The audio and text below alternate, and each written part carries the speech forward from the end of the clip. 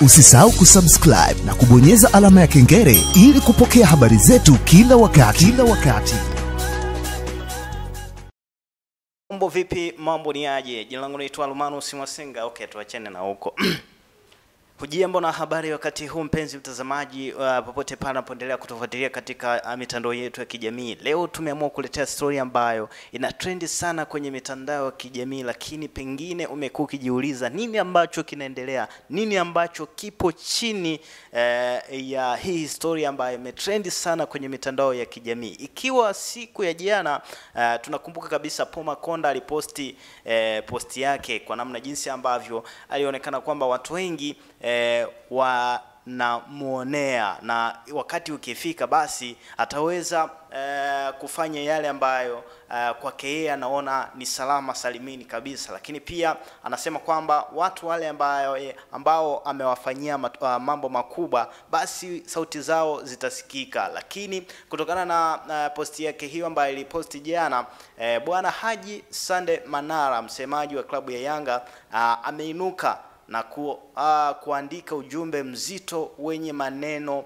eh, makali kwelikweli wenye eh, eh, tafsiri za kila aina kutokana na kile ambacho amekizungumza kuhusiana na ambaye amekuwa uh, rasi wa mkoa wa Dar es Salaam, namzungumzia Po Makonda, lakini kuambie tu kwamba eh, nikurudishe nyuma katika ile Po eh, Makonda uh, posti yake ambayo aliiposti siku hapo jana eh, kabla sijasoma ile posti ambayo ameiposti Haji Sande Manara. Uh, ujumbe wa Paul Makonda ulisomeka kama ifuatavyo. Anasema nafahamu eh, kuna mkakati unaoratibiwa na makundi matano kuangamiza maisha yangu. Kundi namba moja ni wauza madawa ya kulevya, kundi namba mbili wanufaika wa, na madawa ya kulevya. Namba tatu ni mashoga, wakati kundi namba nne wanaokesha usiku kucha kutafuta kulipa kisasi kwa wasaidizi wa Dr. Magufuli. Lakini kundi namba tano eh, waliwahi kuwa sehemu ya hapo akaweka dash dash. Nafahamu eh, pia kuwa uh, juu ya mbinu uh, zinazoandaliwa ili kuniua kwa faida ya familia zao pamoja na kutengeneza mashahidi wa uongo ili mnipe kesi ya uhujumu uchumi. Mambo mawili najiuliza. Namba moja, pamoja na kazi zote nzuri nilizozifanya kwa chama changu, serikali yangu na wananchi wa Dar es Salaam, haya ndiyo malipo yake. Namba mbili, hakika ukiwa mtumishi mwaminifu unaitetea haki za wanyonge, tena ukitokea kwenye familia maskini, haya ndiyo malipo yake. Mtu aliyejenga hospitali, aliyejenga ofisi za CCM, magari ya polisi, ofisi za walimu, lakini pia vituo vya polisi, eh, shule za sekondari mpaka na msingi, kutibu wagonjwa mpaka meli kuja Tanzania kuhudumia makundi mbalimbali mpaka kuiunganisha serikali na viongozi wa dini. Leo hii naonekana eti natakiwa kunyongwa, pamoja na kwamba lipo kundi lenye eh, kwenye mitandao linalolipwa ili kuwaandaa Watanzania pale watakaponikamata ionekane ni sawa. Hakika ipo siku walemavu, yatima, wajane na waliotamani watoto wao wasife kwa madawa ya kulevya, sauti zao zitasikika. Akamalizia ujumbe wa kwamba ukiona maji yametulia, jua kina ni kirefu. Na huo ndio ujumbe ambao ameuandika eh, Paul Makonda ambaye amekuwa rasi eh, wa mkoa wa Dar es Salaam. Kumbuke kwamba eh, aliondoka katika kitengo hicho baada ya kwenda kuchukua fomu ya kugombea ubunge katika jimbo la Kigamboni, na mwisho wa siku kapigwa chini na dugu lile. Ndo mambo yapo hivyo katika uh, katika ukurasa wa uh, Instagram wa aliyekuwa RC wa mkoa wa Dar es Salaam. Hiyo eh, ni kwa upande wake, lakini Haji Manara yeye kaposti nini? Alichokiandika kwa siku hii leo Haji Manara eh, kuhusiana na eh, Paul Makonda eh, yeye ameposti akasema eti ukitaka kuondoke leo utaondoka. Kiburi gani hicho ulichojaliwa mwenzetu? Huyu alikuwa DC ambaye mamlaka ya uteuzi wake ni rais, lakini kiburi na kujiona wewe mkubwa hadi ukamdhalilisha kwa kufoka eti ebo hukujali kuwa huyo ni kiongozi mkubwa, mnaotofautiana vyeo tu mbele ya watumishi wenzenu wa serikali na kamera za waandishi zipo. Ah, hujui hata athari ya kifamilia kwake.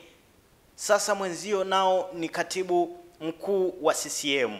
Wewe tunaomba Mungu wote huku mtaani kiko wapi? Halafu unakuja kutulilia kutwa kucha kwa kutaka huruma ya watu wengine. Tusingesema tuliyoyafanya uliyoyafanya na kutufanyia, lakini hii kujitia wewe ulikuwa mwema, kumbe ndiyo imetufanya tufukue makaburi. Binafsi matendo yako kwangu, hata kama nitasamehe, siwezi kukusahau. Ndiyo maana tunakwambia kaa kimya au omba msamaha. Kuja mitandaoni kulialia na wewe ulijiona mbabe wa nchi haikusaidii. SG wa chama Mheshimiwa Daniel Godfrey Chongoro amemtagi pale. Al- Nilifanya naye kazi redio Uhuru, mimi nikiwa mtangazaji na yeye akiwa mhariri wa habari. Very gentleman, very humble, mkweli wa mcha Mungu, kisha mjuzi wa mambo. Wewe kwa ufedhuli wako na kudhani utakaa hapo milele, ukamsimanga na kuonea mamia ya watu ukiwa kama RC ulivyogomea hata vikao vya kamati siasa kamati ya siasa ya mkoa, huku ukijua wewe ni mjumbe muhimu sana wa kikao hicho, hususan taarifa ya hali ya kisiasa mkoani na utekelezaji wa miradi ya maendeleo. Ukawa unasema wewe sio levo ya hicho kikao, hata sisi ulituambia tukawa tunakuchora tu ukalazimisha uteuzi Simba kwa nguvu. Katika hili Mo alikuwa hana namna, asilaumiwe. Angefanyaje? Na yeye ni mfanyabiashara anayetafuta amani katika biashara zake. Nakumbuka nilimwambia huyu wa nini wakati hana ujualo kuhusu football, akanijibu Haji, acha tu mdogo wangu, tuepushe vikombe, tuepushe kikombe kibaya kipite. Mbona leo hatukuoni katika huo ushauri wa mchongo? Washabiki wako uliowaseti huku wanadhani labda tunachukia, tunakuchukia au sisi ni wakamilifu? La hasha. Tusichotaka na kutumiza ni hii kurejea rejea kutafuta huruma isiyostahili. Hivi umesahau ulivyobishana hata na waziri wa fedha ambaye leo ndio makamu wa rais wa nchi? Hujui kwa nini Mungu kawapandisha wengi uliojaribu kuwadhalilisha? Au unajisahaulisha ya mzee wa Rioba hukumpiga makofi na wenzio? Yule mzee ana heshima katika taifa hili da na huo ndio ujumbe ambao eh, Haji Manara ameuandika katika ukurasa wake wa Instagram akimgusisha hasa Po Makonda, na kutokana na kile ambacho kinaendelea, inaonekana vipo vingi vitu ambavyo vipo eh, chini ya pazia, watu wengi hatuwezi kuvijua zaidi, ila cha msingi ni hiyo ndo story ambayo ina trend sana kwenye mitandao ya kijamii ambayo inamhusu ambaye alikuwa RC wa mkoa wa Dar es Salaam Paul Makonda, ambaye kwa hivi sasa ni raia wa kawaida tu, anaendelea na maisha yake huko aliko. So eh, ni moja ya vitu ambavyo eh, vinazungumziwa sana na watu wa siasa, lakini pia vinazungumziwa sana eh, kwa watu mbalimbali ambao wanamfahamu Po Makonda. Jina langu naitwa Almanus Mwasenga ambaye nimekupenyezea story hii, lakini pia unaweza kunifollow pale Instagram natumia @almanus Somba. Saluti, asante. New Vision VTC Driving School ni shule yenye uzoefu wa kutosha katika kutoa mafunzo ya udereva bora. Tunafundisha udereva kwa kutumia mashine za kisasa ziitwazo Sediro, Self Driving Instructor in a Room. Mwanafunzi anajifunza udereva kwetu kama wanavyojifunza katika nchi zilizoendelea kama vile China na Uingereza. Mashine hizi zina faida zifuatazo: kumwezesha mwanafunzi kulifahamu gari kwa muda mfupi sana, kuondoa hali ya uoga kwa mwanafunzi, kumwezesha mwanafunzi mwanafunzi kuzijua njia zote za kujihami na ajali, kumfanya mwanafunzi aone kuendesha gari ni kazi rahisi na rafiki. Tunao wakufunzi mahiri na wenye uzoefu mkubwa. Mafunzo yanaanza saa kumi na mbili na nusu asubuhi mpaka saa kumi na moja na nusu jioni. Mafunzo yanafanyika katika mitaa mbalimbali ya Dar es Salaam. Unaweza kutupigia 0715847004 na 0754847004. Karibu sana New Vision VTC Driving School kwa mafunzo ya udereva bora. Udereva bora.